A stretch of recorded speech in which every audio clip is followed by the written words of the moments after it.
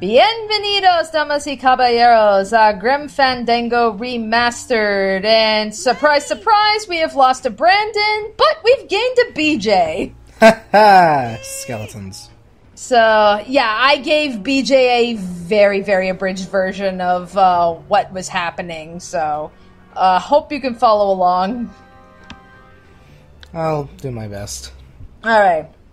So in the last part, so um, Domino, uh, he locked Meche up in the vault. That's like right outside his door. So we gotta, we gotta bust her out. But before we do that, uh, we're gonna take care of a couple of things. So, uh, right here, like it, it's kind of hard to tell with the texture, but that's actually a conveyor belt. Oh. Oh, I, Yeah, thought it was. it- I, I thought it was a tube. Yeah, I thought it was like a two, like just spewing out blood and guts or what, Yeah, or something like that. Believe me, I thought the same thing too, but you know that's the texturing. So when you climb up this, so when you climb up the stairs, we can we can move the little crane. So you're gonna want to move the crane to the opposite end. So when you lower the crane down, it's got like a hook, like that claw thing. Yeah. So what you want to do is uh, move the claw basically over to the other side. You know, because before, if you saw like in its initial position, uh, it wasn't hanging over land or anything. By moving it over to the other side, now we actually have a means of reaching the claw. Yeah. So if you so if you remember the bus doll that we got that we traded from the other guy, Damn. so yeah, we're g- Well, so all right. We got ourselves. I can see claw. why they don't give these chisels to the new guys. That's the power of the bus doll. yes, the claw's mine. All right, so you're gonna want to leave uh, the claw there, Oh. and we are gonna walk all. The, we're gonna walk back to the crane. And despite what that animation looks like, the crane is still operational. Oh, okay. So, because it's a chain, you're gonna pull it, in, push it in. You're gonna want to operate it to push it down into those uh, grinders and pull it out. So now we've pulled up grinders. Then you're gonna want to take it to the other side and pretty much dump the chain right on top of that uh, conveyor belt. Huh. Okay. That's Some weird jump cutting there. Well, that's you know that's the game for you. I right know. I, I, like, I, yeah. figured. I figured that much, but it, that was, that's a little, a little awkward to look at. Yeah. and then hitting that yep, and hitting that switch puts it in reverse. So yeah, like I yeah, I, I think we mentioned this like back on like part one and everything. Yeah, this game does have some really weird camera issues, weird jump cuts and everything. I mean, it's like I mean, the camera can change depending on like where Manny is, and it can be it can be a little disorienting every now and again. Right. Yeah. I think. I think. I, yeah. I think at one point. Um, I mean, I could be wrong, but I think at one point we did kind of bring up how it's like, oh yeah, it's relatively similar to how it was like if you were playing like the first Resident Evil game with the camera angles or all that jazz. Yeah. So climbing down the chain and well ain't that convenient? There's a Uh. boat! Well, um. Okay. Wait, was it just suspended there before, or Yeah, yeah, uh, the boat so if you remember Ryan, Yes. okay, uh well for one thing this is where Glottis landed, so yep, Glottis is okay. But Oh, um God. But if you remember, Ryan, when we were in Rubacava, you remember uh, the captain where he was talking about this ship that uh, that's uh, the lumbago that uh, sailed away, and he like you know never saw her again and everything. Wait. Is, wait. So wait. This is the Lumbago? Yep, this is this is the ship. Oh shit. I think this baby's our ticket Nice. It took us like a whole year to finally find it, but there it is. Yeah. I don't know how eh, they don't really explain how this ship ended up there, let alone how it uh how it's still standing on the edge of the earth. But okay, whatever. We'll- Don't worry we'll about it. Just roll with it. Yeah, it's like we'll, we'll, we'll live. okay, so All right, so we found Glottis, and Glottis he's actually working. He's actually going to work on the ship because remember he's also part. He's also acts as a mechanic. So Oh yeah. So, um, yeah. So basically, like, you know, all those things I did, like, you know, um, there we go. Yeah, you want to switch it around. Like, you cut, you got to hit the conveyor belt, uh, backward to basically wrap the chain around and go all the way back to the crane because this is how we're going to pull that boat off of that cliff and you know the what you call it the claw parts the um, the grinders Glottis is going to use those to basically fix the ship so we, we'll basically have our escape believe you got it to float. That was the easy part. The trick's gonna be busting through What that is Glottis? Beef. He's a demon. Gla- Glottis is a demon so in this world um, You might be interested. there are demons that are summoned from the underworld and basically think of them as like you know Figure uh, third class workers and everything. You know, they are literally uh, created to do one job and one job only. And for Glottis, it was to drive and repair machinery.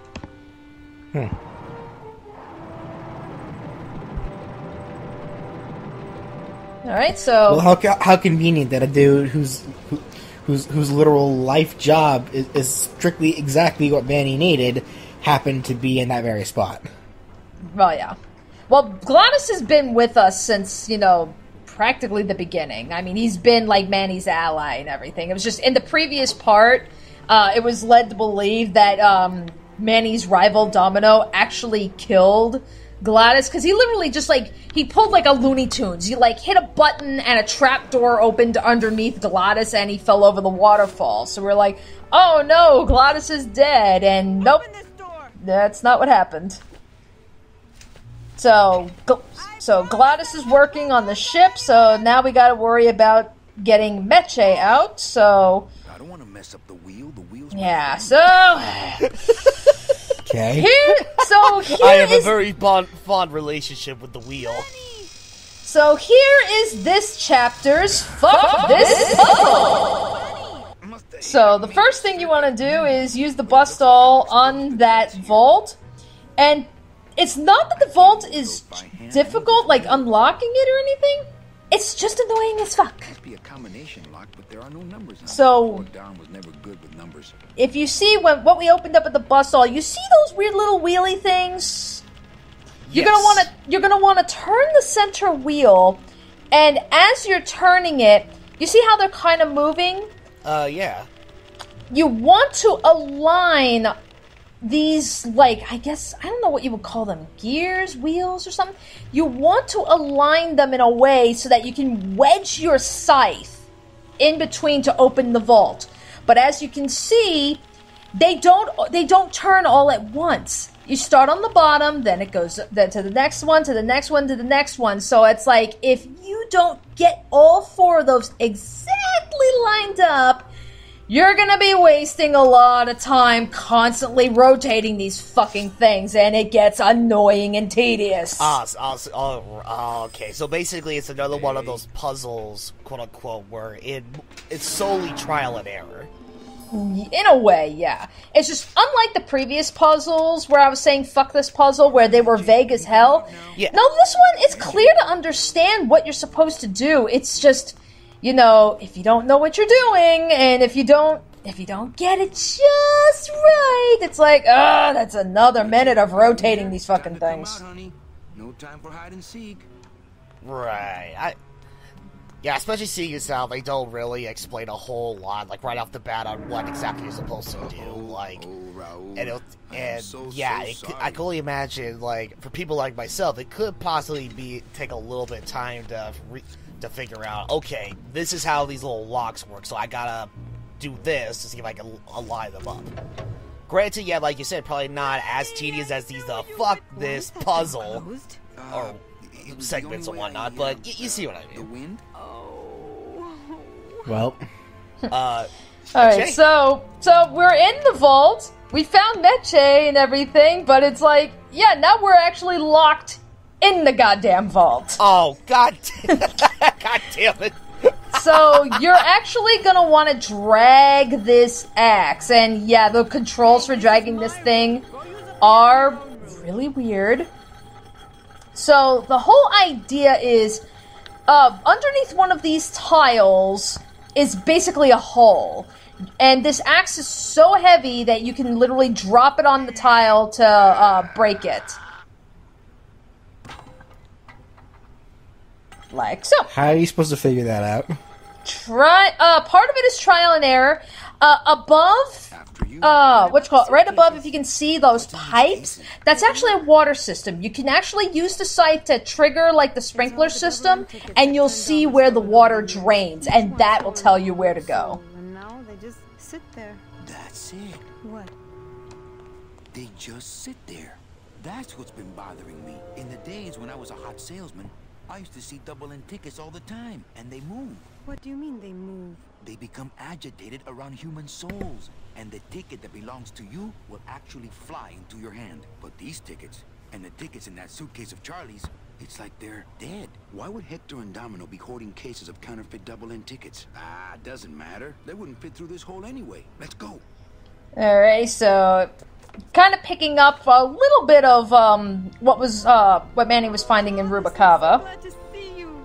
So yeah, these Double N tickets and everything that have been uh, that Manny's been coming across, they are counterfeits. They're not the real things.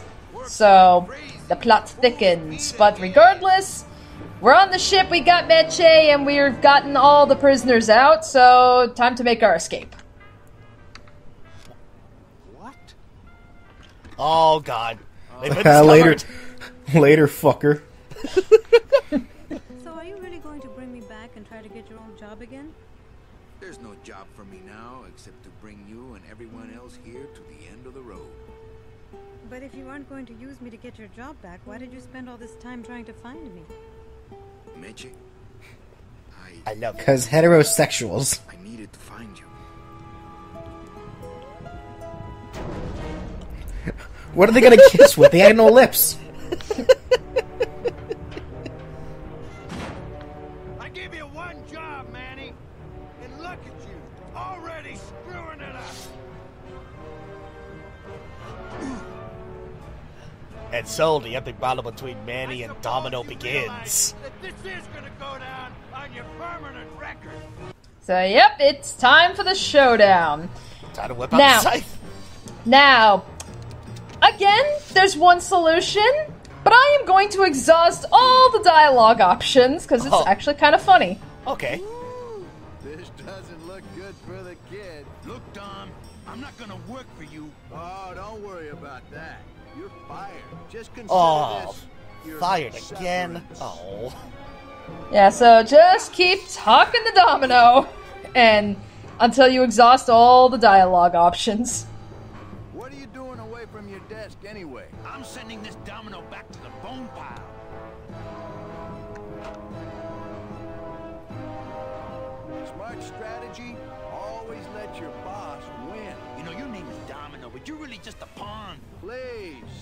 Comic book one-liners for when you're winning.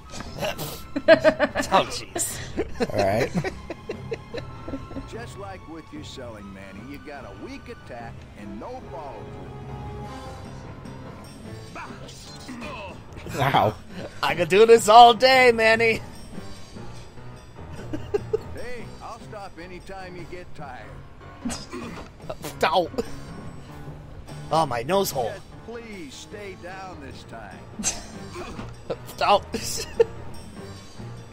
At least at the Christmas party, you passed out before you really got hurt. nice little throwback to that mention in the very beginning of the game. I remember. Yeah, it's like, yeah, BJ, Nope. there was this whole thing that they said that was like, yeah, at the Christmas party last year, Manny got so drunk that he beat the shit out of Domino. The girl's like a mile in the other direction. Alrighty, so I think that's it's been pretty way, much it. way, well over one over one mile at this point. Okay, so Ow, pretty my much. So yep, you're gonna want to hit the eyeball because if you remember, that's the octopus that was dragging people. I don't You, You're losing a fight, so you pick on one of my pets? Ow. Ow! Why Wait. Oh god. Buddy, I want to look slightly to your left.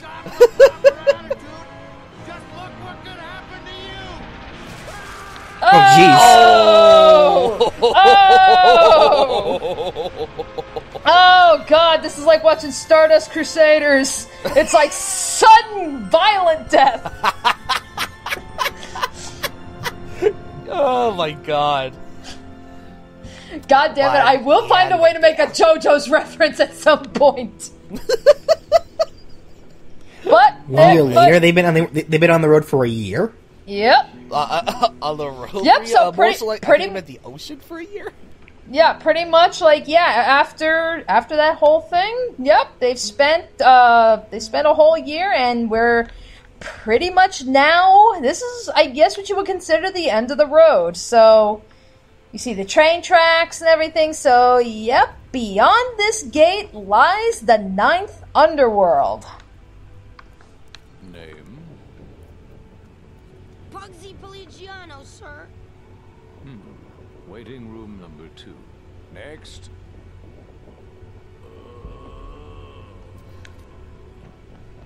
Goodbye. Oh no, Gl- Glottis! What? It just Glottis, where'd you go this time? Did he just Right. fall off? Uh, oh god. Nah, nah, he he uh, passed out, Oh. and uh, basically, uh, yeah. So Glottis, yeah, he didn't like fall off or anything. I mean, he pretty much like passed out. Oh, okay. I was gonna say like, because from that angle, it looked like he fell off the platform and it just fell to the sky again. No, no, no, no. He didn't fall through the sky or anything. I mean, you, alright. you know, uh, we'll actually see and get a lot more details of what's going on with Glottis in the next video. Oh, okay. So, so yeah, guys, we're almost done. We're on the final chapter. So, yeah, man. And uh, heads up, just to let you know, uh, this final chapter is by far my personal favorite chapter, and you will see why. Ah, All right.